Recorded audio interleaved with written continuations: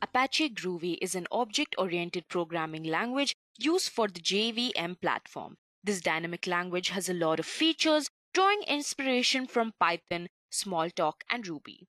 It can be used to orchestrate your pipeline in Jenkins, and it can glue different languages together, meaning that teams in your project can be contributing in different languages.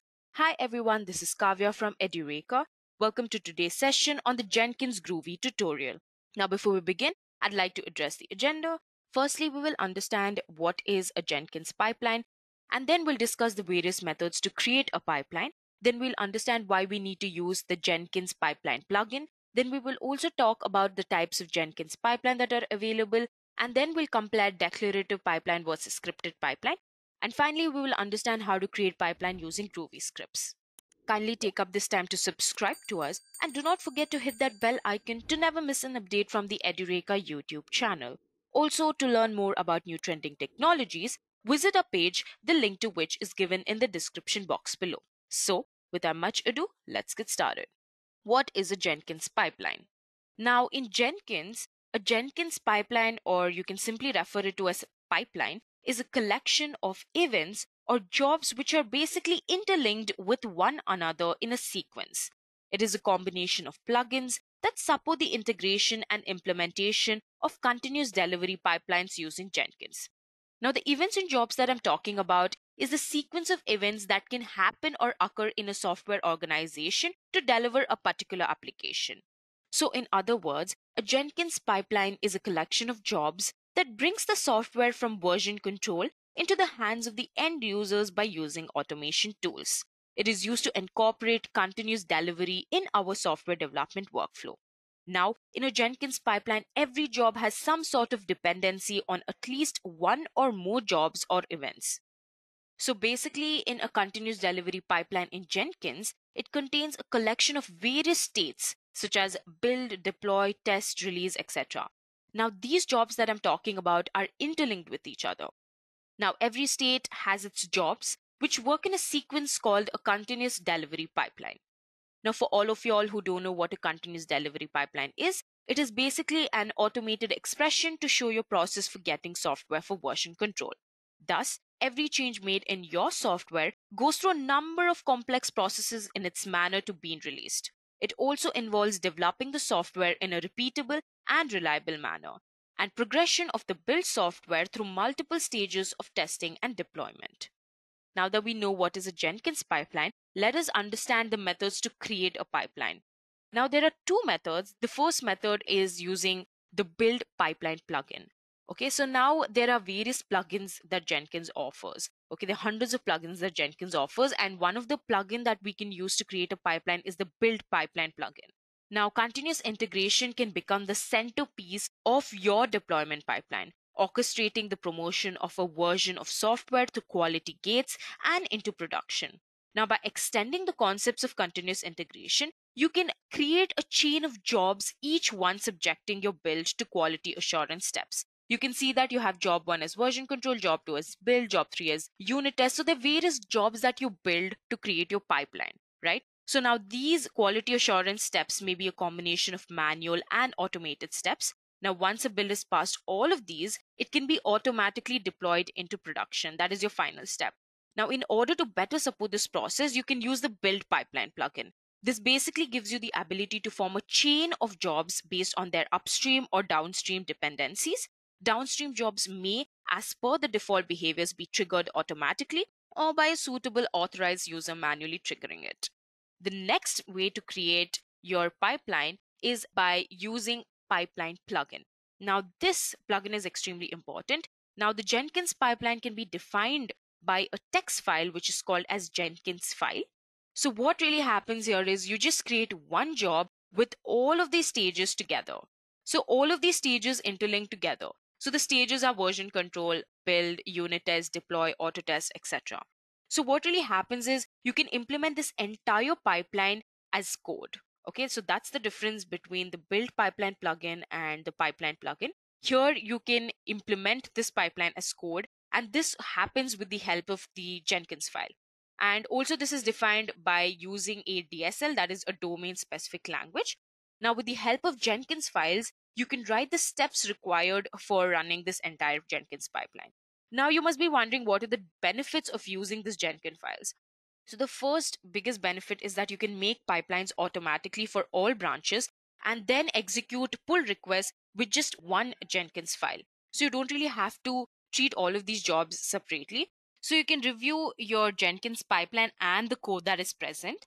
Now, this is the singular source for your pipeline and can be customized by multiple users. Jenkins file can be defined by using either web user interface or with a Jenkins file. As we've already discussed, Jenkins is a continuous integration server which has the ability to support the automation of software development processes. You can create several automation jobs with the help of use cases and run them as a Jenkins pipeline. We know this already. So I spoke about some of the benefits of using Jenkins file. Now we will understand the reasons as to why you should use Jenkins pipeline. Now Jenkins pipeline is implemented as a code which allows several users to edit and execute the pipeline process.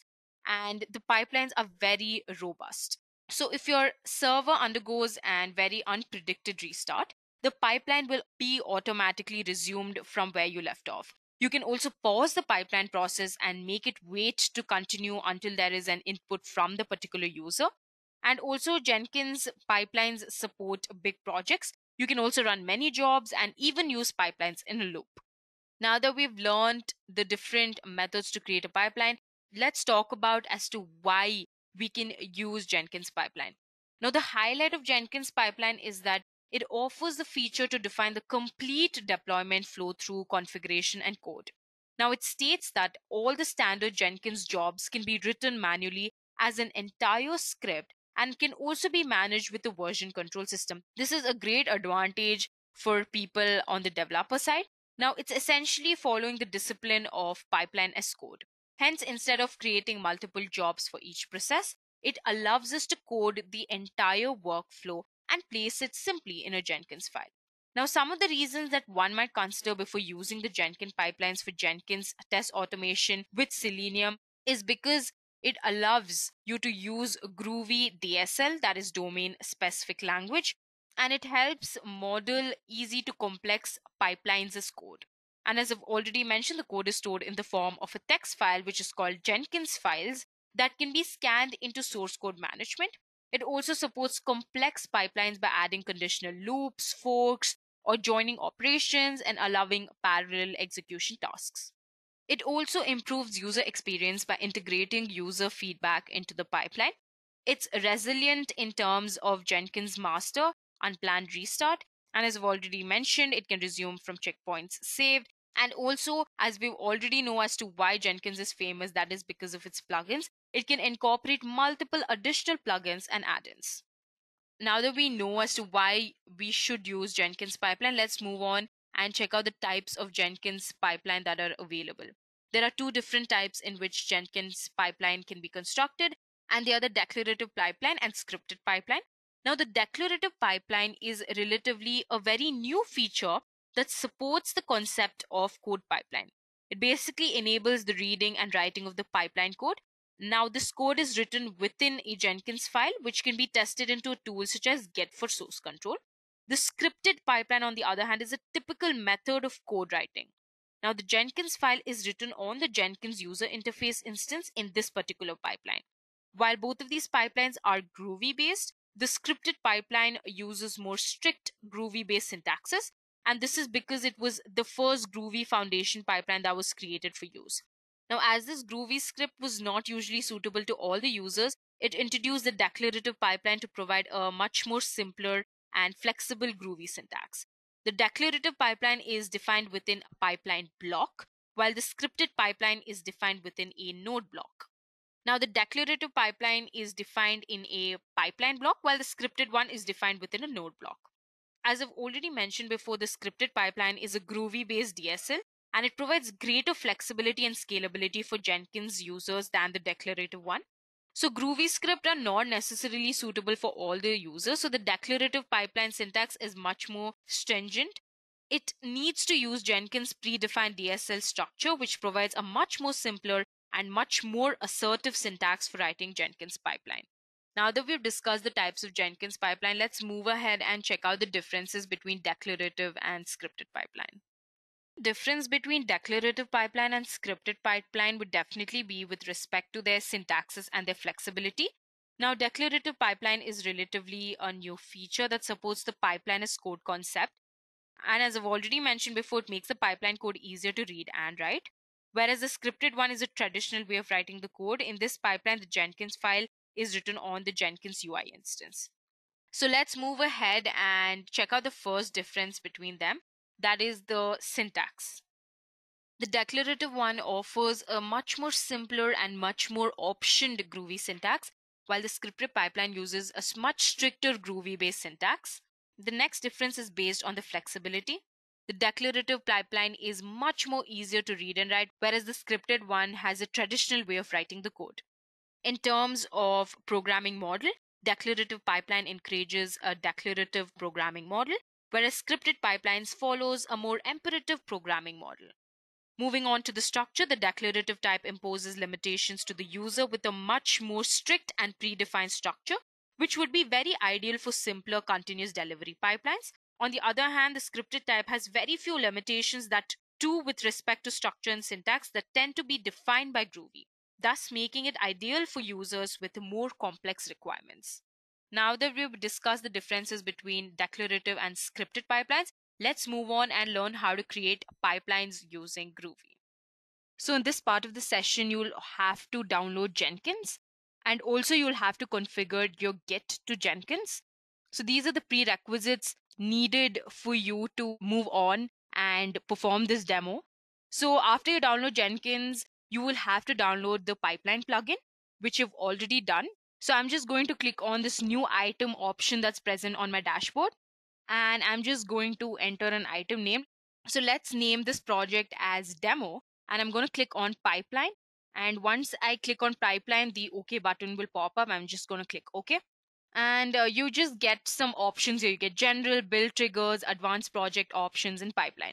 So what I'm going to do is I'm just going to scroll down through all of these options and you just scroll down to the pipeline section and here you can see that there's a definition where you can add your own pipeline script or you can select your pipeline script from source code management. Okay and currently our source code management is git and since i've already configured git to my jenkins i can select my source code management that is git.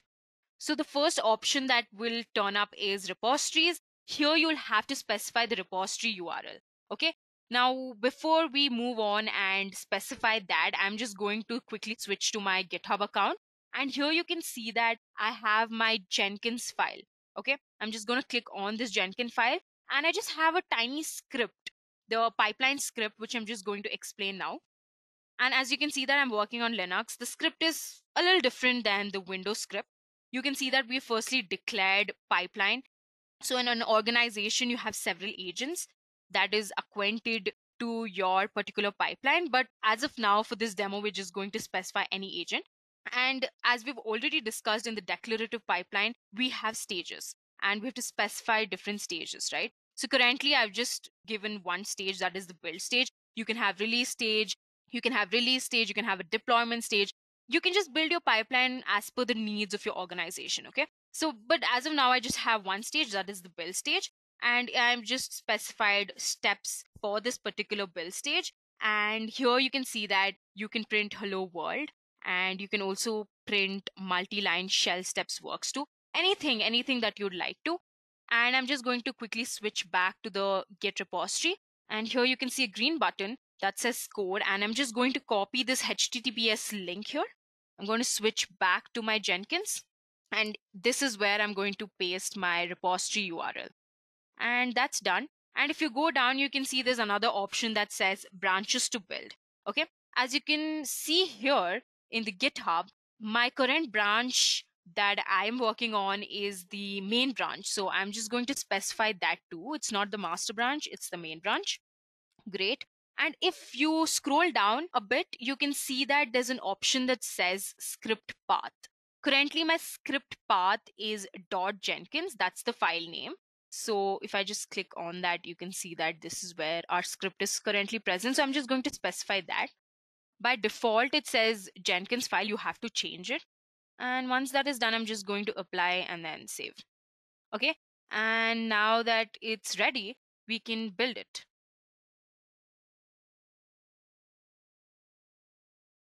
You can see that the build has been executed successfully. And if you want to check out the logs, you can. It says hello world and also it's printed multi shell steps work too. So that's great. So this is how easy it is to really build a pipeline. You can make the pipeline as long as you'd like to. You can make it as complex as you'd like to. This is just a tiny demo to make you understand how the Jenkins pipeline plugin really works. Now, with this, we've come to the end of this session. I hope you had a great time on the session on Jenkins Groovy tutorial. If you have any queries, leave them in the comment section below and we'll get back to you as soon as possible. Until next time, thank you. I hope you have enjoyed listening to this video. Please be kind enough to like it and you can comment any of your doubts and queries and we will reply them at the earliest. Do look out for more videos in our playlist and subscribe to Edureka channel to learn more. Happy learning!